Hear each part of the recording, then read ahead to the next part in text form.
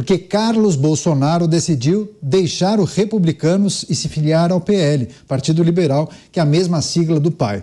Agora há pouco, nosso repórter Bruno Pinheiro conversou com Jair Bolsonaro, que confirmou essa informação.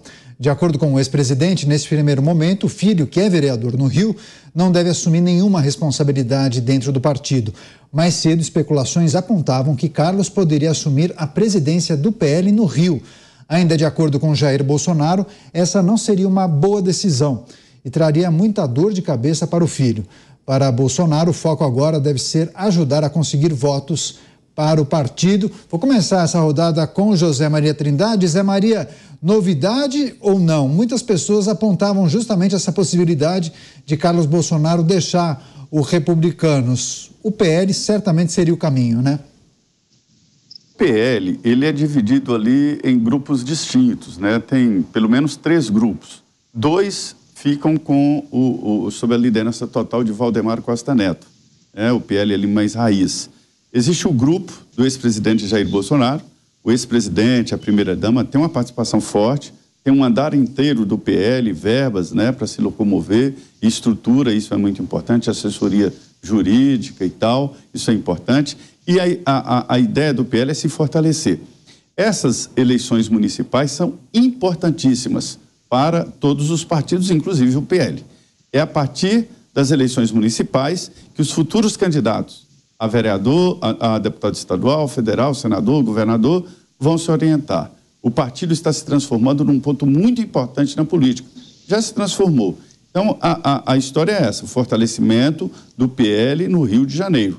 A ideia é que Carlos Bolsonaro leve para o PL uma bancada maior de vereadores. Isso significa depois mais dinheiro, mais verba do fundo partidário, do fundo eleitoral. Então, é uma estratégia nacional do PL de se organizar ali. E o PL do Rio de Janeiro está por conta do ex-presidente Jair Bolsonaro, sim.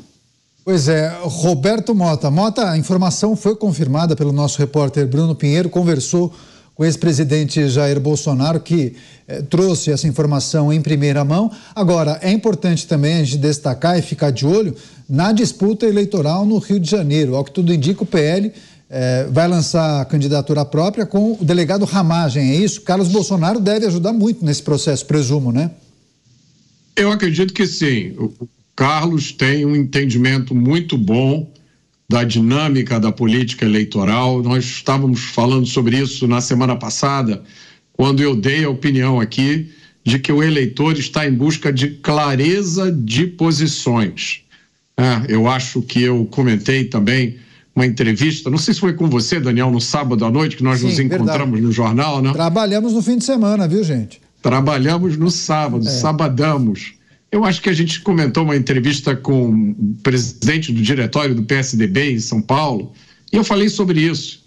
O eleitor nunca, não quer mais essa, essa opção do político que só sabe dizer: eu não sou de esquerda nem sou de direita, eu sou do centro, porque eu odeio extremos. Essas coisas de extremistas, essa época já acabou.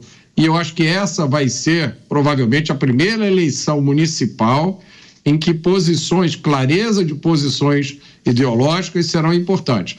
O Rio de Janeiro tem esse ingrediente, sobre o qual a gente sempre fala aqui, que é o da criminalidade, da ocupação territorial pelo narcotráfico. Inevitavelmente, isso vai ser colocado na mesa. Já comentamos aqui o caso curioso de umas pessoas que estavam cobrando proteção e aí foram denunciadas à prefeitura, né? É curiosíssimo isso. E aí o nosso grande Cristiano Beraldo já até aventou a hipótese, né? Apenas uma hipótese disso já ser uma reação eh, à entrada na disputa eleitoral de, do deputado Ramagem, que é delegado de Polícia Federal, e que certamente vai qualificar esse debate sobre segurança pública. Nós vamos sair dessa uh, discussão que ou diz que o bandido é um pobre coitado ou que o bandido bom é bandido morto. A gente precisa ter a capacidade de dizer que o bandido bom é um bandido neutralizado, é, e como ele vai ser neutralizado é a escolha dele. Mas, né, se ele topar, preso por muito tempo, é isso que o Rio de Janeiro precisa fazer. E vai ser muito interessante, Caniato, ver como é que a prefeitura pode ser trazida para dentro desse jogo. Né? A prefeitura tem uma guarda municipal que tem um efetivo de quase 10 mil homens e mulheres, é um efetivo quase do mesmo tamanho do efetivo da Polícia Civil do Rio de Janeiro, que poderia estar engajado no combate ao crime. Então, essa disputa eleitoral, eu sei que a disputa eleitoral de vocês aí em São Paulo vai ser animadíssima. Eu acho que vai ser a mais animada do Brasil. Mas o Rio de Janeiro não vai ficar atrás. Pois é, eu também aposto nisso. Rio de Janeiro com nomes fortes nessa disputa. Agora, mais um Bolsonaro no Partido Liberal, ao que tudo indica, né, Cristiano Beraldo? De que maneira Carlos, que já é um político conhecido eh, na cidade, pode ajudar nessa caminhada do delegado Ramagem? Não, sem dúvida nenhuma pode ajudar muito. Inclusive, porque eu recebi uma informação aqui de primeira mão, Caniato, dizendo que o PL é, deixou as portas escancaradas para Carlos Bolsonaro assumir a presidência do Diretório Municipal do PL, que é uma posição estratégica nas eleições municipais, e isso, obviamente, fortalece é, a, o comprometimento é, do PL do Rio de Janeiro com a, agenda de Jair Bolsonaro e de seus apoiadores. A candidatura de Ramagem consolida essa presença de Bolsonaro no Rio de Janeiro, na sua, é, é, né, na, sua terra, não natal, mas enfim, onde ele fez a sua vida pessoal e política. E se Carlos Bolsonaro assumir a presidência do Diretório Municipal, certamente terá condição de atrair uma, uma lista de candidatos a vereador que vai ser bastante expressiva. Né? Isso a gente tem que reconhecer a capacidade de Carlos Bolsonaro conseguir mobilizar a sua tropa. Né? Ele sempre teve uma atuação muito forte no universo de redes sociais, foi, segundo consta, um dos grandes mentores da comunicação de rede social do pai e sempre causando é, né, muitas reações, opiniões, enfim, as polêmicas ali sempre colocadas a partir das suas posições.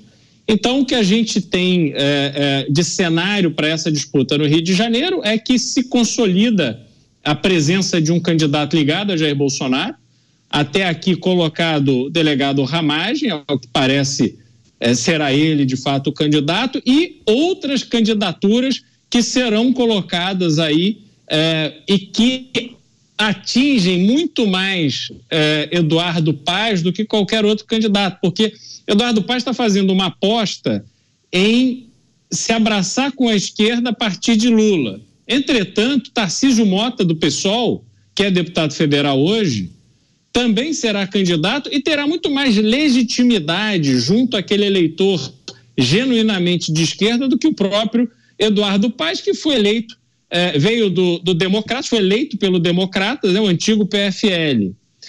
Depois você vai ter candidaturas ali como é, é, Marcelo Queiroz do PP, Pedro Duarte do Novo, você tem várias candidaturas que aí como, se comunicam mais com o eleitor de centro-direita e ainda terá a candidatura de ramagem. Então a situação de Eduardo Paes não é confortável para essa eleição, não. Pois é, Zé Maria, você ainda estava desfrutando uh, da, das férias, curtindo bastante lá Trancoso, mas nós estávamos aqui repercutindo as notícias políticas na semana passada e demos a informação que houve uma troca de farpas entre Carlos Bolsonaro, ainda no Republicanos, e alguns integrantes eh, do PL. Enfim, você acha que a chegada dele no partido pode ter algum tipo de problema em razão da postura que ele acaba adotando nas redes sociais? Porque ele não passa a mão no telefone e tenta resolver ele usa as redes sociais para enviar recados muitas vezes, né? E talvez para os velhos da política nem sempre isso é bem aceito, né? É, pois é, saudade lá da Casa Rabanete, lá no quadrado em Trancoso. Olha, é, essa situação do, do Carlos com, com, grupos políticos, com lideranças, é, provoca mesmo pruridos. Isso porque o Carlos ele tem um, um, um projeto político muito calcado nas redes sociais. Eu conversei em várias oportunidades com Jair Bolsonaro e ele deixa claro de que vai continuar seguindo a, a, a linha mais, eh, vamos dizer assim, mais agressiva do Carlos Bolsonaro. Ele entende de que chegou à presidência da República em virtude exatamente desta estratégia. Ele já me falou que o Carlos era o marqueteiro dele. Então, assim, é uma linha que deu certo, né? É uma linha que alguns criticam. E muita gente no PL a, a, a, avalia muito assim, a, política mais devagar, que é, é, o Mota diz que está em, em extinção. E está. Acabou aquele negócio do político que batia na como vai seu pai? Ah, meu pai já morreu, morreu para você, seu ingrato, porque para mim ele continua vivo no meu coração. Então, isso acabou, né? Esse tipo de político. Agora, ou é de um lado ou é de outro. Mota, teve uma vez que lançaram é, um partido político aqui, e aí depois nós entrevistamos lá na, na coletiva, né, chamado Quebra-Queixo, a gente chama Quebra-Queixo, e o presidente do partido falou de tal forma do partido que ele estava lançando, que me lembrou aquela história, propaganda da, do, do, chinelo, né? Que não tem cheiro, não solta as tiras, e, e, e enfim, é, é, parece uma propaganda, né? É, não é de um lado nem de outro, muito menos ao contrário. Eu falei, uai, mas para que lançar um, um partido político tão água com açúcar assim, né? Então, esse tempo acabou. E há uma concentração partidária no país, isso se, se vai intensificar agora, né? exatamente por conta dessa avaliação. Todos dizem aqui que é por volta de nove os partidos políticos que vão sobreviver. Pois é, seria um número bem menor do que o atual. Nove partidos, nós seria um avanço. Para fechar, você, Mota. É, eu, eu acho que é, é, essa discussão sobre a atuação do Carlos Bolsonaro tem a ver com uma conversa que a gente teve aqui já tem algumas semanas, e, e houve até um debate, agora não me lembro mais quem estava aqui, onde a gente falou sobre a evolução da esquerda e da direita no uso das redes sociais. Né? E eu sou da opinião de que a direita, aos poucos, a partir aí de 2010, 2011, foi ganhando hegemonia nas redes sociais, porque ela aprendeu como usar as redes sociais, é, que era uma arte que era dominada quase que exclusivamente pela turma da esquerda.